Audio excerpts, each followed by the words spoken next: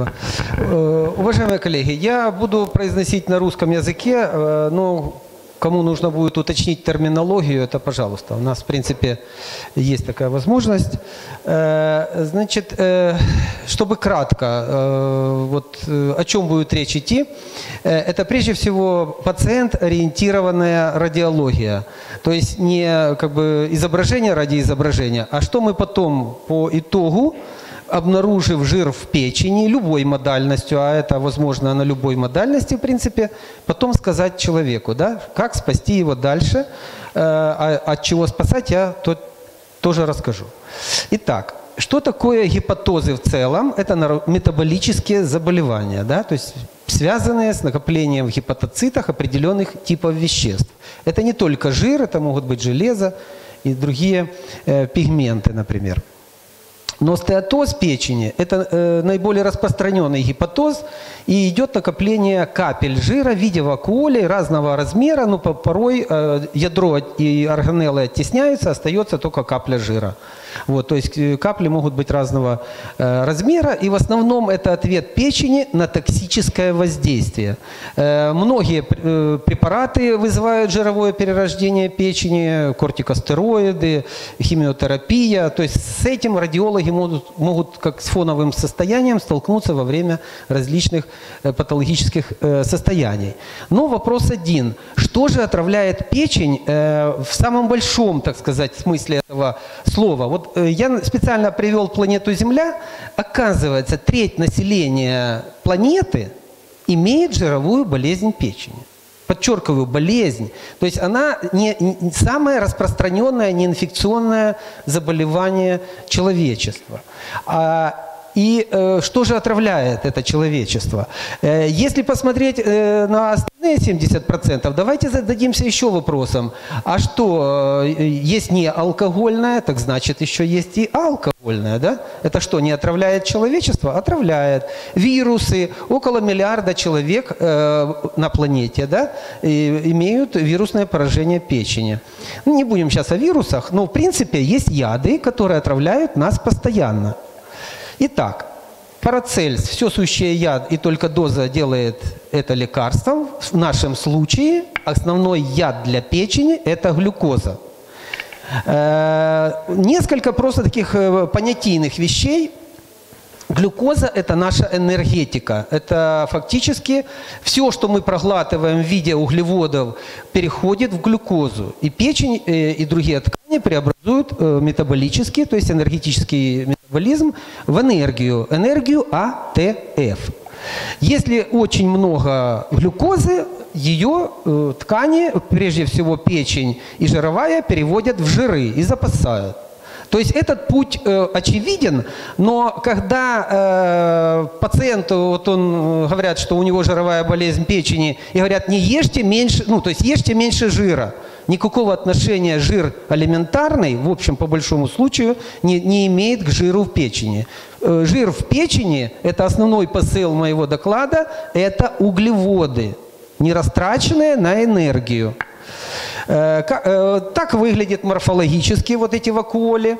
И самое, э, самое важное то, что и печень, и жировая ткань сейчас рассматриваются с позиции эндокринологии. То есть всем обменом глюкозы и энергии занимается эндокринная ткань. Поэтому э, я так и поставил специально, чтобы обострить внимание ваше к этой проблематике. Фактически жировая болезнь печени неалкогольного генеза есть эндокринное расстройство. И заниматься этим должны эндокринологи. Другая проблема состоит в том, что, к сожалению, эндокринологи еще не готовы вылечить треть человечества. Э, Как это происходит, я не буду долго пояснять. Это схема митохондрии. Ну, указка, не знаю. Нет, нет.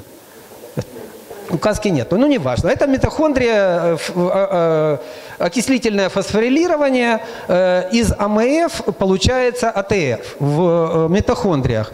А что, если уже АТФ вся создана да, в данной клетке на данную потребу? Что происходит? Печень переключается на синтез жира. То есть все то, что пришло в печень, переходит в жир и накапливается. Потом транспортируется в другие э, органы и ткани. И вот естественное развитие жировой болезни. Нас эти, это, это пугало, это стандарт, это классика. То есть сейчас э, это э, первое и главное заболевание печени диффузного характера. Даже вирусы отступили на второй план, я дальше покажу эту концепцию. И что же мы видим? Что фактически с течением времени, там, в течение 20 лет, фактически мы выходим на цирроз. То есть это заболевание заканчивается циррозом и гепатоцеллюлярной карциномой. То есть мы тут как тут, со своими модальностями, правильно? Вот. Но вот э, Европейская ассоциация по изучению печени. В 2015 году произошла революция в гепатологии.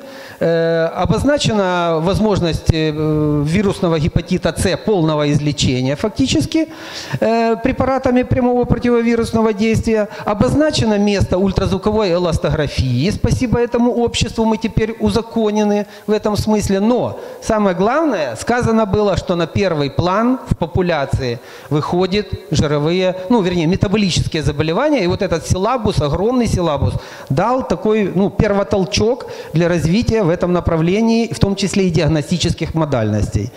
И дальше. Так все ли так печально? То есть все ли пациенты, или, скажем, мы с вами, да, треть вот этой аудитории имеют жировую болезнь печени? Фактически, закончим ли мы циррозом и гепатоцеллюлярной карциномой? Нет. Есть хорошие новости. Оказывается, мы не доживем до них. Вот это я хотел, этот посыл вам, ну, было бы смешно, если бы не было так печально. Вот смотрите, одно из американских больших исследований. Оказывается, на каком-то этапе развиваются кардиоваскулярные и цереброваскулярные события. Ну, то бишь, инсульты, инфаркты. Ни цирроза, ни ГЦК нам в этом случае не угрожает. Наша роль как радиологов, если мы выявляем жировую болезнь, мы должны сориентировать пациента, поднять до нашего технологического уровня мышления клиницистов, организаторов здравоохранения и сказать, ребята, если мы сейчас на данном этапе чего-то не сделаем этому пациенту, он закончит этим. Отвечаю, это все писано уже переписано. То есть э, по поводу жировой болезни печени э, каждый год выходит около трех тысяч весомых статей. Поэтому будьте внимательны. Э, фактически ликвидация жировой болезни печени – это первичная профилактика инсультов и инфарктов. И вот моя учитель Анохина сказала об этом еще 25 лет тому назад, что ишемическая болезнь сердца – это заболевание печени.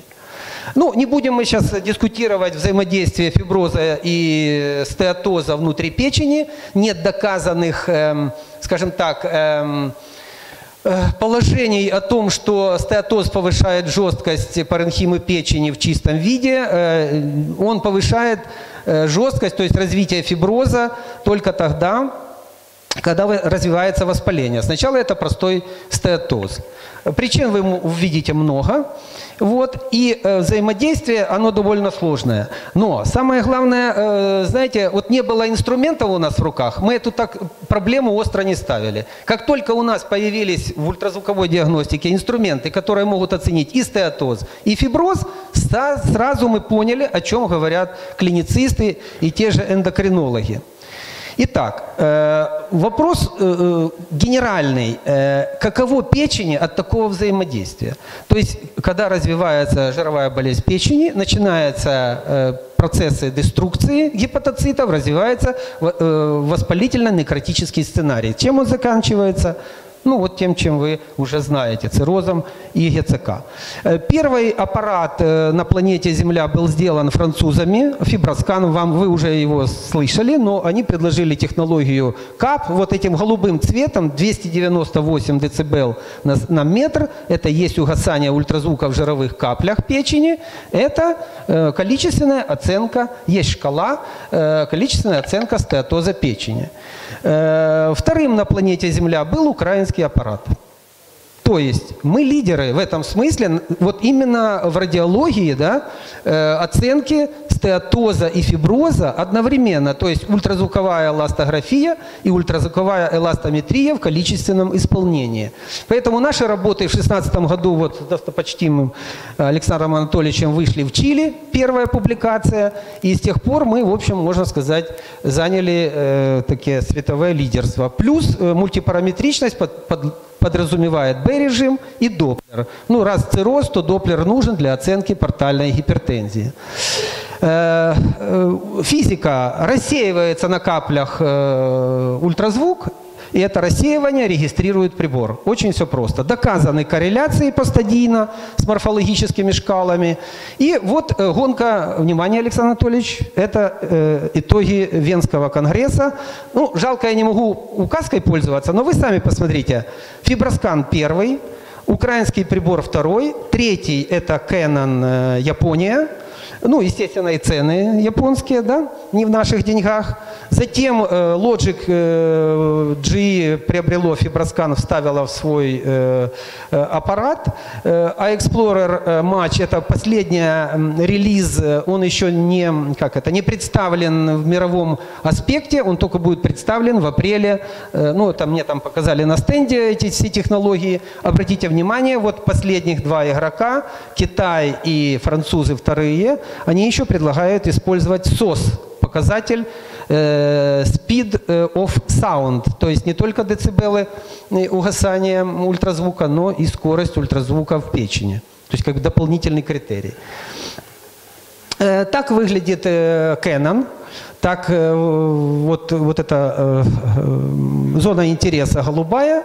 Так выглядит мультипараметрическое представление. Canon лидер еще почему? Потому что ввели такой показатель, как вязкость. Это свидетельство именно некротического сценария в печени, то есть повышение значений АЛТ, АСТ. Вот, не только жир и не только жесткость. Ну и дальше я бы сказал так, это мы пропустим. Очень сильно жир влияет влияет вот на что. На акустику ультразвука и сдвиговых волн. То есть э, жесткость реально-то не растет э, на первых этапах жировой болезни, но, к сожалению, возникают технологические трудности э, производства сдвигово-волновой эластографии у больных с, со стеатозом, ну и с э, ожирением. Это руководство, которое декларирует Э, вот, э, по эластографии печени 2017 года, мы его перевели, сдали, им можно пользоваться, взаимодействие стеатоза и фиброза в печени. Э, самый важный документ для понимания того, что, как мы должны сориентировать пациента и клинициста, почему я так уверенно говорю об эндокринной ну, болезни как таковой, жировой болезни печени, потому что вот этот документ, три европейских ассоциации, помимо ИЗЛА, я уже который вспоминал, есть еще э, по ожирению ассоциация и по диабету. Они написали все, ни одной таблетки не существует. А что делать? Есть Миша. А, вот. Ну, сахарный диабет – это модель. Э, вот, кстати, любопытный документ, обратите внимание. Эндокринные перспективы неалкогольной жировой болезни печени. Я хочу в результате этого доклада корот, коротко, так сказать, доказать вам, что это эндокринное заболевание и должны этим заниматься эндокринологи. Вот. Э, это наши вот такие там материалы, но обратите внимание, здесь две шкалы есть. То есть стеатоз и фиброз одновременно мы у всех пациентов мультипараметрически тут же оцениваем, на каком этапе идет развитие жировой болезни печени. То есть есть фиброз, это один разговор, нет фиброза, это другой разговор. Я не буду сейчас э, на научном аспекте останавливаться. Вот примеры. Видите, вот S1 это стеатоз э, первой степени, фиброз второй. S2 э, фиброза нет.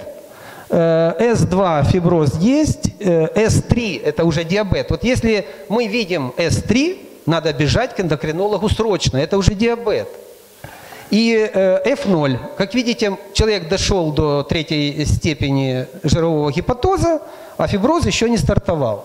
Очень важно иметь в руках инструмент, и мы его на Украине имеем. Как, как ни одна страна, мы в лучшем положении, на самом деле. И этой проблемой надо заниматься вот в таком широком популяционном смысле. Треть населения имеет эти проблемы. Эм, так, э, значит, э, ну это тут всякие анализы. Э, я бы хотел еще, почему заканчивается это все инфарктами, инсультами. То есть мы взяли такой пример, придумали еще на прошлом конгрессе, мы озвучили первый синдром Винни-Пуха, то есть неправильная печень, делает неправильные липиды, которые распределяются в желчь, то есть холэстерин, это липид желчи в переводе, и он оседает в виде хлопьев, сладж, в виде полипов, псевдополипов, холестероз и э, ЖКБ. Да? Отсюда тянется, естественно, э, ну, э, развитие э, и э, как бы панкреатита. Второй э, синдром Винни-Пуха – это кровь, неправильная печень больная, да? жировой болезнью, она генерирует э, так называемые липопротеины, это транспортные формы липидов из печени, где образовалось это все несчастье, куда? В депо. Все это проходит через сосуды. Естественно, любая травма сосуда заканчивается атеросклерозом. Атеросклероз – это результат печени. Ну и коагуляция, и поражение э, эндотелия и так далее. Вот. Поэтому фактически поражение сердечно-сосудистой системы при э, жировой болезни печени надо рассматривать не как ее осложнение, а как естественное развитие заболевания. Вот. Э, ну вот это наша схема э, мультипараметрического подхода ультразвукового. То есть мы можем оценивать очень много в печени, и не только в печени, но и в зависимых от этого заболевания органах, прежде всего в сердечно-сосудистой системе. Но, что очень важно, обратите внимание, другие модальности сейчас тоже очень важны. Вот, вот эта э, технология Fat Fraction э, э, Proton Density, это магнитный резонанс на сегодняшний день по материалам последнего Конгресса Европы является референтным методом. У нас, к сожалению, на Украине как-то пока вот только ко мне, как это сказать, заявили одни исследователи, что у них это есть э, возможность э, быть референтными по отношению к ультразвуку. Это очень важно. Спрашивайте ваших специалистов по МРТ, которые могут ли они делать э, эту технологию. Она очень важна в плане нашего обучения. Э, ну и, э, наконец, э, я бы сказал так, что мультипараметрический специалист должен соответствовать мультипараметрическому ультразвуку. Да? То есть он должен иметь не только руки, но еще и голову, для того, чтобы комплексно у данного одного и того же пациента применить весь комплекс исследований печени и близлежащих органов для того, чтобы оценить его риски. Э, ну, уже вот 15 минут э, я докладываю. Это наше определение мультипараметрического ультразвука. Оно было дано в многократных наших публикациях. Вот на сайте э, нашего института эластографии можете посмотреть все наши публикации, о чем речь идет. Вот последняя статья по мультипараметрическому ультразвуку неалкогольной жировой болезни печени была принята в этом году на Европейском конгрессе радиологов. Тоже она есть в ЭПОСе, например. Обращайтесь в эту базу. И там все это вот, э, моя соавтор, это эндокринолог, это ее диссертация кандидатская. Вот. И э, я бы хотел э, остановиться вот на чем. Что взять домой радиологу? Жировая болезнь печени – это эндокринное заболевание, связанное с грубым нарушением обмена, перегрузкой организма глюкозой. При любой лучевой модальности на ЖБП сигнал врачу-радиологу направить пациента к эндокринологу. Мультипараметрический ультразвук должно и важно применять при жировой болезни. В перспективе мультипараметрический ультразвук должен быть полиорганным, с учетом органов мишеней. Да? Вот полисистемным, мультиваскулярным с применением э, э, именно двойного синдрома Винни-Пуха. Я думаю, что вам это запомнится, образ этот э, такой семантический. Вот. И прицел на состояние сердечно-сосудистой и именно панкреатобилиарной системы, потому что э, этими путями липиды начинают вредить Вот. И, а естественное течение на ЖБП может приводить к циррозу и ГЦК, если человек не умрет от э, сердечно-сосудистых осложнений. И, э, естественно, это требует уже мультимодального подхода, то есть если мы подозреваем очаговое поражение печени у больных с э, неалкогольной жировой болезнью, значит, нужно направлять на, на другие модальности, которые обладают контрастом. Ультразвуковых контрастов пока на Украине мы не увидим. Э, Ну, все. Да, и я вас приглашаю вот о чем. Э, Будет через месяц э, у нас первый в мире скрининговый центр жировой болезни печени на стенде нашей ассоциации на нашем отечественном приборе. Free.